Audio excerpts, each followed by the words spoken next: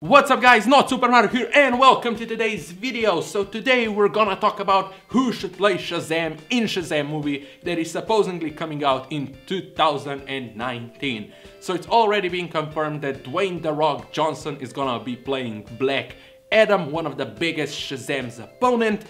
And if you don't know who Shazam is, he's alter ego of Billy Batson, I hope that that's correct. Billy Batson, who is a boy, and whenever he shouts the magic word Shazam, he becomes an adult with a lot of great abilities. Super strength, flying, uh, a lot of great uh, abilities that I would like to have, but I don't. So yeah, Billy Batson is a lucky guy. So it's tough. This Dreamcast is really tough because you have to find a decent opponent to Dwayne The Rock Johnson, who is a machine and carries pretty much every single movie that he's in. So that's tough. But I think that I found three actors that, that can do this and yeah, I've got three actors. I hope that you agree with my choices. If you don't, of course, share your choices in the comments down below because everybody has a, his own opinion.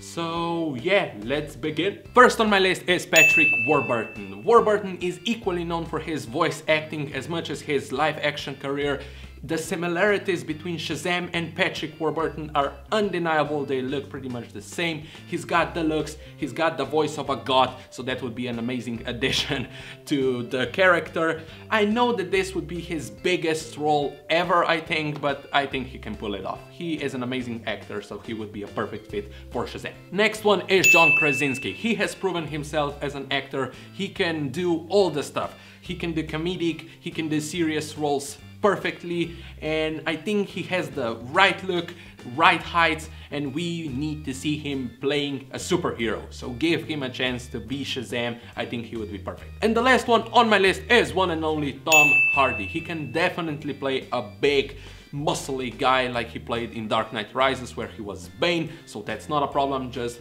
six months straight fitness all the time and he's gonna be back in the best shape ever uh, and a lot of muscles because Shazam has to have a lot of muscles. so that's it. He's got the skills, acting skills. He's an amazing actor. He was amazing in Mad Max, in Revenant. He is now in new series Taboo and the first episode was really good. Go watch it if you have the time. Just go watch it. And yeah, he's got all the looks, all the skills, everything. The only problem with him is maybe the height because you've got Dwayne The Rock Johnson who's playing Black Adam, the bad guy who is six foot six, big, humongous guy.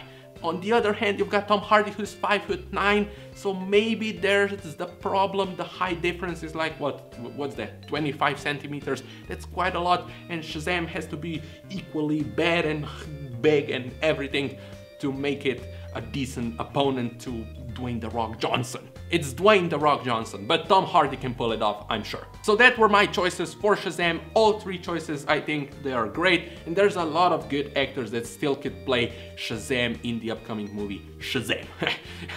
so in the comments down below, share your picks. Tell me who do you want to see play Shazam in the Shazam movie.